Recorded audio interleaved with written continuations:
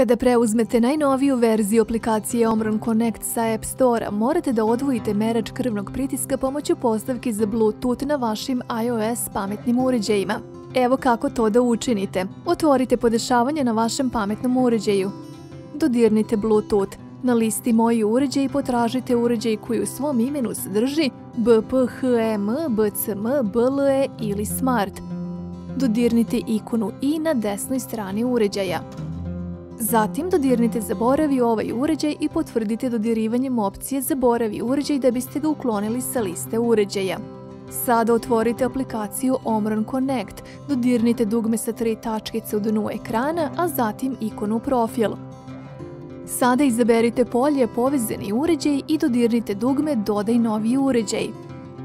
Ovdje izaberite polje Svi omron uređaji za merenje krvnog pritiska, a zatim dodirnite dugme sljedeće Uparivanje. Da biste uključili režim uparivanja na meraču krvnog pritiska, pritisnite i držite dugme Bluetooth 3 do 5 sekundi. Na meraču će treperiti veliko slovo P za uparivanje.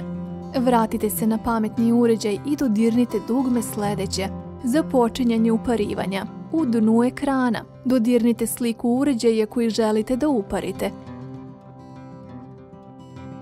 Zatim potvrdite zahtjev za Bluetooth uparivanjem tako što ćete dodirnuti u pari. Ako vaš uređaj dozvoljava dva korisnika, zatražit će se da izaberete broj korisnika. Ako ćete samo vi koristiti merač, izaberite prvi korisnik.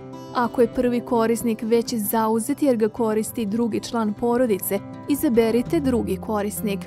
Kada završite sa biranjem, dodirnite dugme potvrdi. Ako su i prvi i drugi korisnik već dodeljeni na vašem pametnom uređaju, zatražit će se da potvrdite izbor.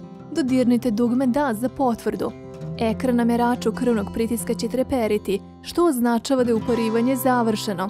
Ako i dalje budete imali problema, posjetite našu stranicu podrške za Omron Connect putem veze u ovom video snimku.